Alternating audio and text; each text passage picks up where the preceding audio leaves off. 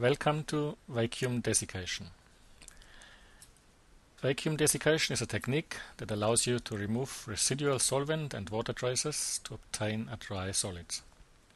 You put the solids on a clock glass, which you have to cover with another smaller clock or watch glass, which prevents it from being blown around later on when you vent the desiccator.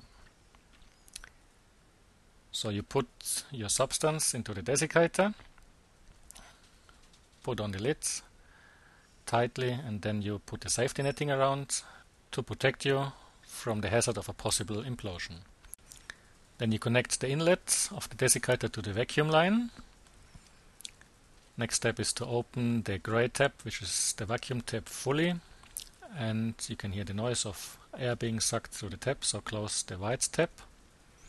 And finally, at the desiccator inlet, open the tap and again you can hear air being sucked out. Once that noise has ceased, the whole apparatus is under vacuum.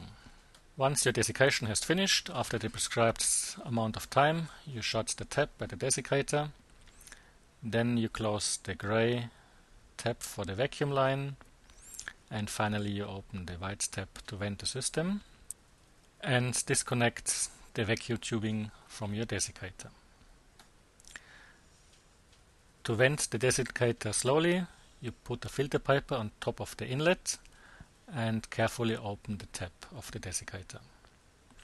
In this way, the air that flows in flows in very slowly and doesn't disturb any of the contents of the desiccator. The venting of the system will take some time and you will realize that it's finished once the filter paper falls off on its own, which has happened now. At that point you can open the desiccator. So remove the safety netting and the lids. Then you can take out your substance of the desiccator. The important part now to remember is to replace the lid and shut the inlets. That keeps the desiccants dry and we don't have to change it frequently. When you are finished, you end up with a substance like that that is entirely dry now.